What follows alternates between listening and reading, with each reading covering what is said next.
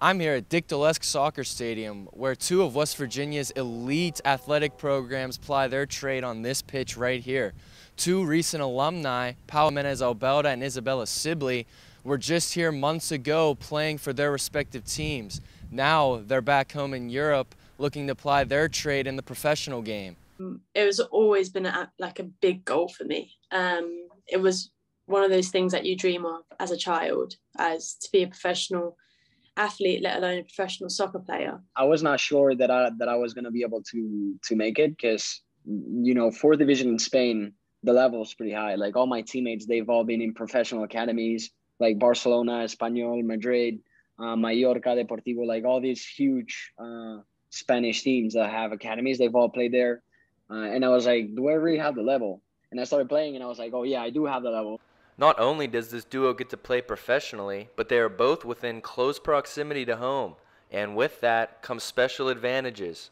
I play a, game on Sunday and I have a huge amount of my family coming and supporting me, which is shocking because I haven't had that in four four years now.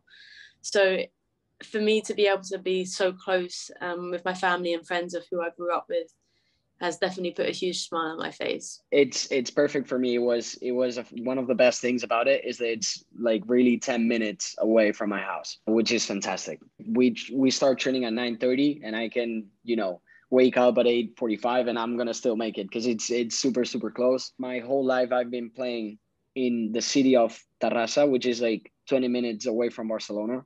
Uh, so I kind of like I'm pretty well connected with the city, I would say. Albelda is signed for Terrassa FC, a club in the fourth tier of the Spanish pyramid, while Sibley has opted for Crystal Palace, who reside in the second tier of the women's pyramid in England. Despite the steps they have taken in their careers, they have not forgotten about the help from WVU coaching along the way. Sat down with Izzo, I remember I said, listen, Izzo, like I this is my ambition, like I want to go professional.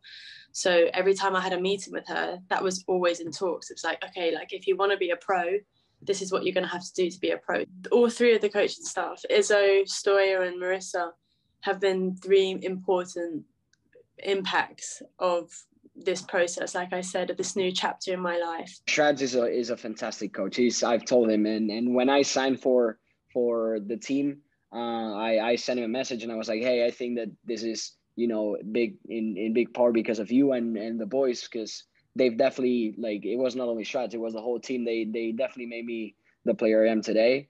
No matter how far Sibley and Albelda stray from Morgantown, they continue to make us Mountaineers proud. For Mountaineer Playbook, I'm Liam Belan.